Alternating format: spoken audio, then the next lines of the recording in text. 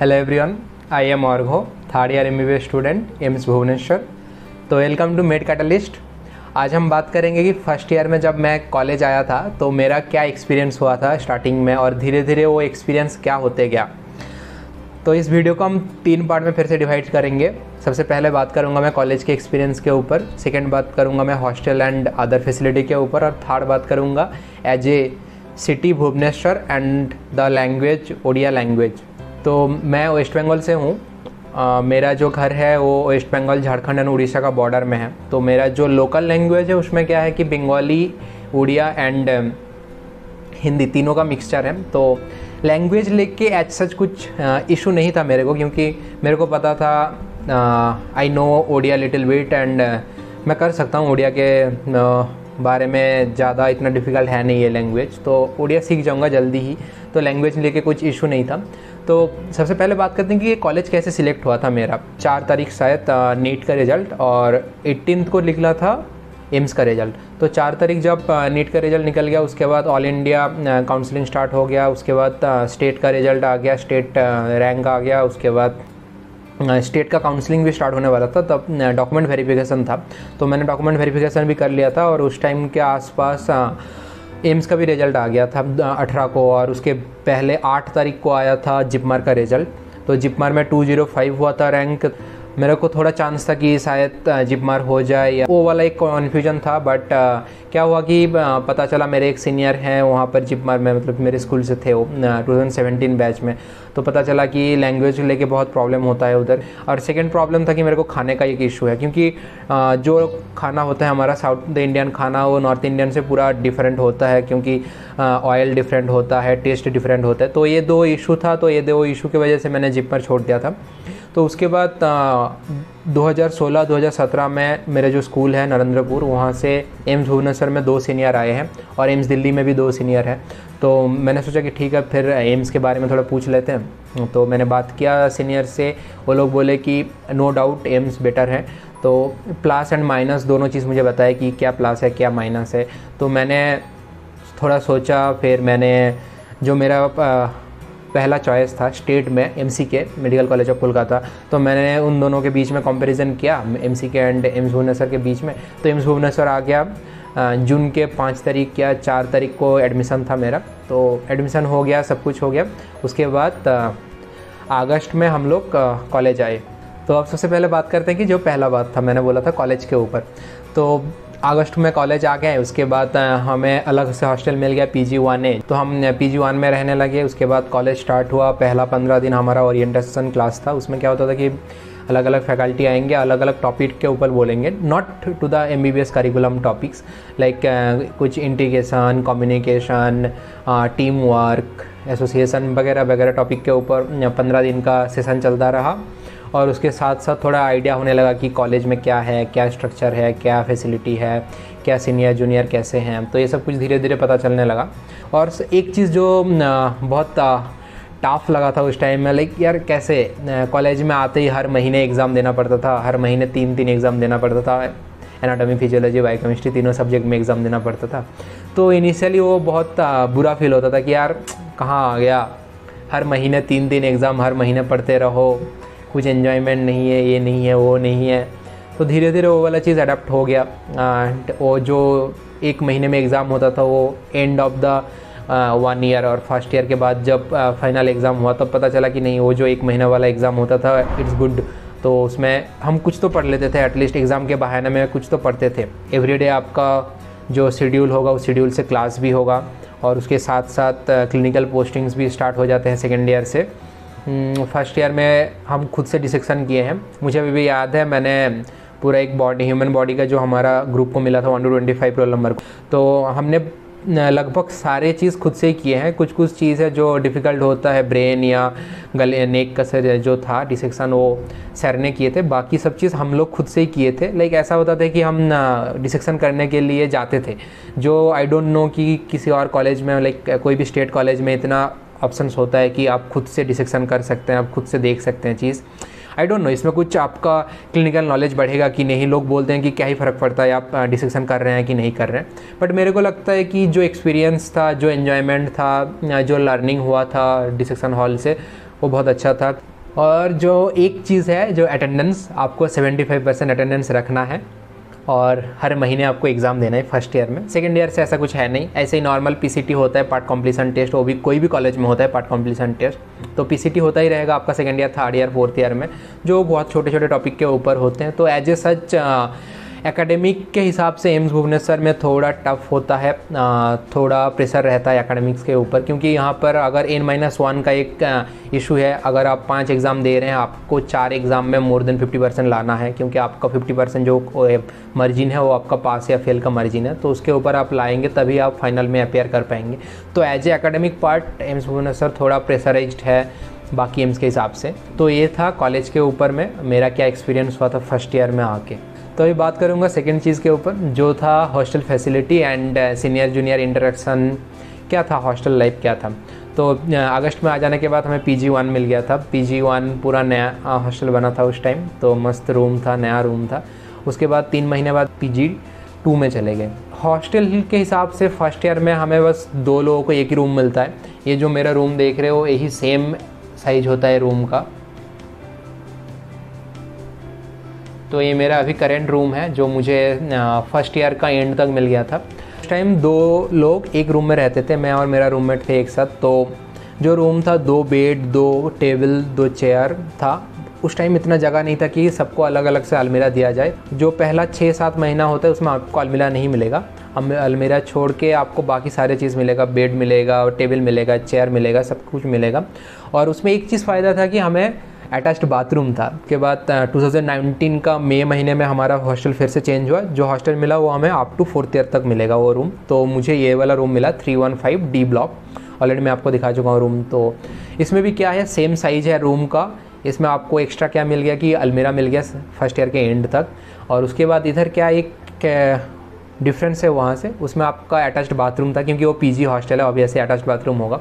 तो इसमें common bathroom है। But as a such hostel के एक्सपीरियंस से मुझे कभी नहीं लगा कि यार आधा घंटा खड़ा होना हो रहा है लाइन में। क्योंकि हम रहते हैं नौ लोग इधर, और नौ लोगों के लिए चार बाथरूम है। तीन लेटरिन और दो नहाने का जगह है। तो कभी ऐसा हुआ नहीं कि बहुत टाइम से लाइन देना पड़ रहा है तीन चार लोग लाइन में हैं, उसके बाद हमें बाथरूम जाना पड़ रहा है या नहाने के लिए चार पाँच लोग टाइम है। ऐसा कुछ होता नहीं है। जनरली कभी, अभी तक फेस नहीं किया मेरा, दो साल का नया हॉस्टल में अभी तक कभी हुआ नहीं ऐसा। तो ये था हॉस्टल का रहने का चीज़ और करंट पूरा टाइम रहता है, बहुत कम टाइम करंट जाता है। जब भी करंट जाता है, एक प्लाग जो है, इसमें एक प्लाग है रूम में, उस प्लाग में आपको करंट आता रहता है क्योंकि जो इमरजेंसी जनरेटर है, वो ऑन हो जाते हैं। और उसके बाद गर्म पानी आता है, ट्वेंटी फोर आवर गीज़र है हर एक फ्लोर में, हर एक साइड के बाथरूम में। और हर एक फ्लोर में एक एक करके फ़िल्टर है, वाटर फ़िल्टर भी है। और उसके साथ साथ आप लोग खुद पैसा दे के वॉशिंग मशीन भी खरीद सकते हैं। जैसे कि हम लोग पंद्रह लोग मिलके एक वॉशिंग मशीन खरीदे हैं तो हफ़्ते में हम लोग का एक एक या दो बार करके टार्न आता है। बात करता हूँ कि सीनियर जूनियर का क्या रिलेशनशिप था, क्या इंटरेक्शन होता था हमारा। जब हम पहले आए स्टार्टिंग में तो एंटी रैगिंग का जो चीज़ होता था, सब कुछ हमें बताया गया कि यहाँ पर कुछ रैगिंग नहीं होता। जनरली यहाँ पर कुछ रैगिंग है भी नहीं। इट्स लाइक कि हमारा क्या होता है कि हम सीनियर जूनियर जो इंटरेक्शन बोला जाता है, उसमें क्या होता है कि हम जाते हैं, बात करते हैं सीनियर से। तो that a funny part also like कोई भी कॉलेज मान लीजिए आप मेडिकल कॉलेज हो, इंजीनियरिंग कॉलेज हो, जनरल साइंस का कॉलेज हो, सेंट्रल इंस्टीट्यूट हो, कोई भी कॉलेज हो, उसमें एक सीनियर जूनियर का बॉन्डिंग रहना चाहिए। तो हमारा क्या होता था कि वो सबसे फ़नी पार्ट था फ़र्स्ट ईयर का। हमें क्या होता था कि हम जाते थे, हमें एक सीरियल होता था हमारा, उसमें क्या बोलना कि नाम क्या बोलना होता है सबसे पहले, हम कहाँ से आए हैं। और उसके बाद हमारा क्या हॉबी होता है, वो हमें बोलना पड़ता है। और उसके बाद हमें बोलना पड़ता है, हमारा सीनियर कौन कौन है हमारे स्टेट से? फनी पार्ट था कि हमें सारे सीनियर्स का नाम याद रखना होता है कौ मेरे स्टेट से ये ये है, मेरे इस डिस्ट्रिक्ट से ये ये है। तो ये वाला पार्ट जो था कि नाम रटना यार सीनियर कल बुलाएँगे हमें, आज तो राम नाम रट्टा मारना है, सारे नाम याद रखना है। उसके बाद हमें मिला कि नहीं, सौ के सौ सीनियर का नाम याद रखना है तुम्हें। क्योंकि अगर सीनियर का नाम नहीं याद रखोगे तो पहचानोगे कैसे, यार, बात कैसे करोगे? कैसे उनके साथ मिलोगे? तो जो सौ लोगों का नाम होता है, वो हम क्या करते थे कि हमारा जो पुराना कॉलेज का जो मैगज़ीन आता है, हम ऐसे पकड़ के कॉलेज का मैगज़ीन ले के पूरा ऐसे अच्छा ये सीनियर का ये नाम है, चलो फेसबुक में देखो, इनका क्या है फेसबुक में देखो इंस्टा में देखो, ऐसे हम लोग सीनियर का नाम याद रखे थे उनका फेस के साथ, कि उनका अभी चेंज हो गया व्हाट्सएप या फेसबुक का प्रोफ़ाइल पिक्चर तो अभी वो ऐसे दिखते हैं। तो इंस्टेंट जो होता है ना, क्या किसी का बियर्ड है, को किसी का मूछ है तो हमें फ़ोटो जो देखे हैं, उसमें कुछ था नहीं बट हमारे सामने वो है, हम पहचान नहीं पा रहे, हम बोले यार ये कौन है, कौन सा सीनियर है, कौन सा सीनियर साइड में जो दोस्त है, यार बताना बताना, कौन सा सीनियर है?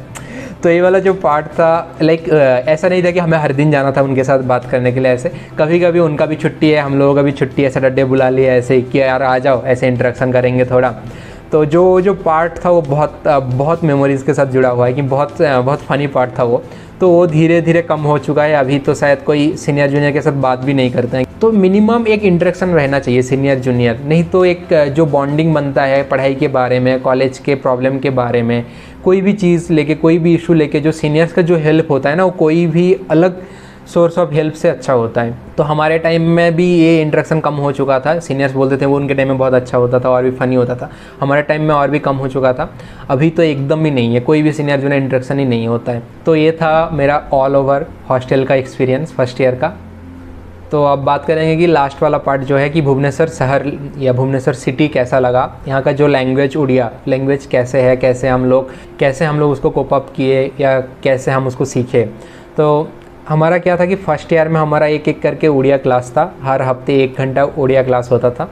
तो उसमें हमें क्या किया गया था कि जो मिनिमम सेंटेंस होते हैं कि हाउ आर यू आप कैसे हैं? आप कहाँ से हैं? आप क्या करते हैं? आप क्यों आए हैं? तो इनका उड़िया वर्सन हमें सिखा दिया गया था कि आपण कौठन आसिले आपण ना कौन आपण को कौन असुविधा आपण कौन पाई हॉस्पिटल आसिले। तो हमारा जो लर्निंग था कि ऐसे था। कोई भी हम सेंटेंस बोलेंगे कौन कूठे कौन पाई दो six seven words we have to learn and we have to use those things but uh, एक चीज़ और भी अच्छा था कि यहाँ का पेशेंट जो है thirty to forty percent patient Hindi समझ जाते हैं। Twenty to thirty percent patient Bengali होते हैं थोड़ा हिंदी समझ में आता है। बट मेरे हिसाब से मेरे को एज सच कुछ प्रॉब्लम फील नहीं हुआ क्योंकि मेरे को थोड़ा बहुत उड़िया आता था। क्योंकि मेरा जो घर का जो लोकेशन है तो उसमें हिंदी उड़िया एंड बंगाली तीनों लैंग्वेज का मिक्सर था तो तुम मुझे हिंदी बंगाली एंड उड़िया तीनों मैनेज कर लिया था उस टाइम में।